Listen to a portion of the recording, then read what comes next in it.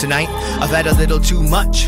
Gotta be honest to do what I'm trying to do, but I knew what you wanted me to be.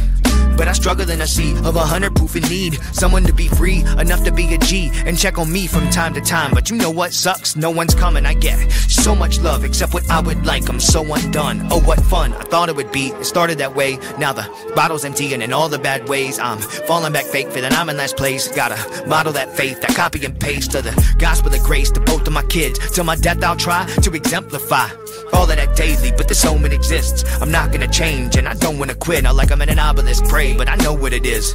Not cause I'm great, but I know I'ma win. While I was hiding my face from every type of my pain, I was hoping I'd quit. But when the soberness hit, life inundated me with the blight that remains. It's like owning a pit that jumped over the fence with no type of restraint that gets fired up bang, breathe it likely was trained to explode with a fence. So I'm hopping a train that'll go to the distance if you're bobbing your brain, but you don't know what it meant. Impossible change to the soul is his business. If you're fighting today, then total deliverance might come from praying and hoping in him. Invite him to stay and have him over for dinner. He's turning night into day. And grown ups to kids, the truth, light, and the savior that overcomes sin. Amen.